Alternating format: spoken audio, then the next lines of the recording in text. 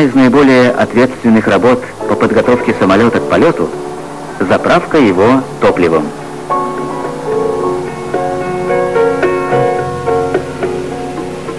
Топливозаправщик должен подъезжать к самолету со скоростью не более 5 км в час.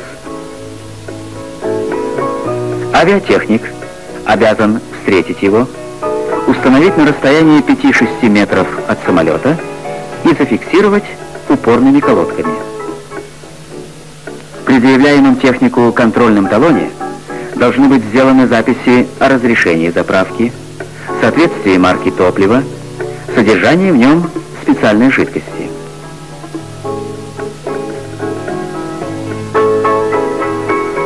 Надежное заземление самолета и топливозаправщика и соединение их между собой тросом металлизации предотвращает возникновение разрядов статического электричества.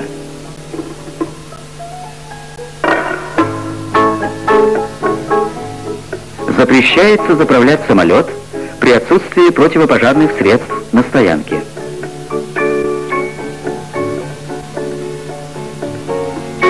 Крышка заливной горловины топливозаправщика должна быть запломбирована.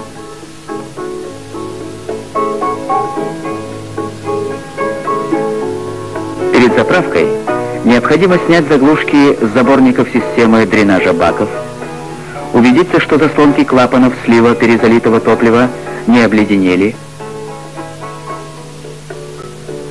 замерить остаток топлива в баках по мерным линейкам.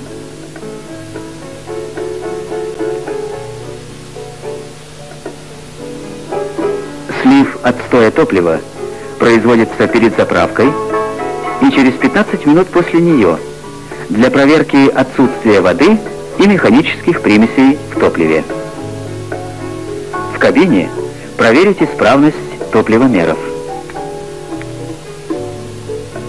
При нажатии кнопки N стрелки должны переместиться к нулю.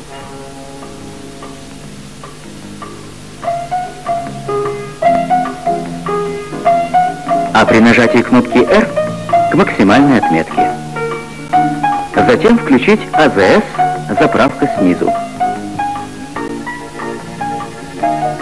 Далее необходимо подсоединить наконечник шланга к заправочной горловине и открыть его клапан, проверить чистоту гнезда под штырь заземления, соединить трос металлизации шланга с самолетом,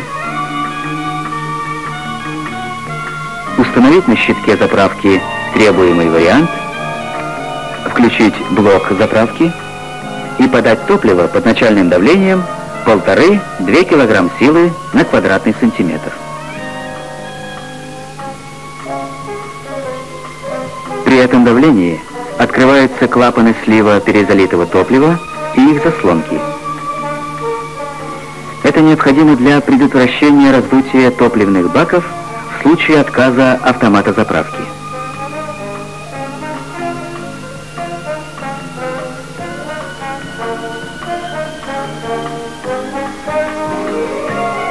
Одновременно топливо поступает к кранам заправки. Пока их электромагниты не включены, они закрыты.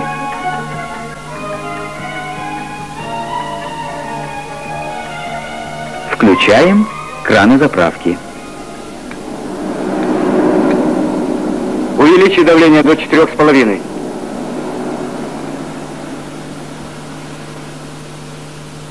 Давление топлива не должно превышать 4,5 кг сил на квадратный сантиметр.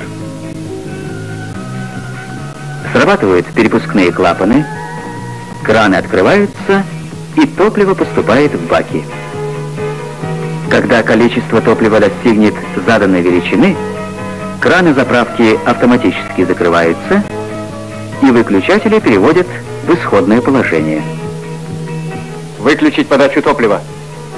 При прекращении подачи топлива клапаны слива перезалитого топлива и их заслонки закрываются.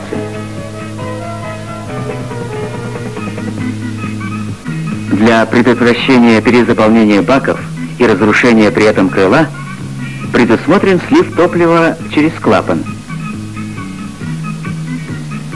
После заправки необходимо откачать топливо из шлангов, отсоединить наконечник от заправочной горловины, установить на нее крышку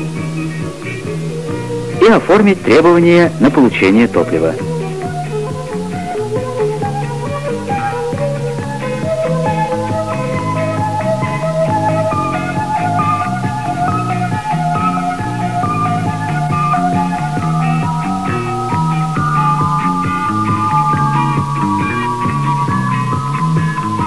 Надежная эксплуатация самолета зависит не только от мастерства экипажа, но и от высокой технологической дисциплины авиационно-технического состава.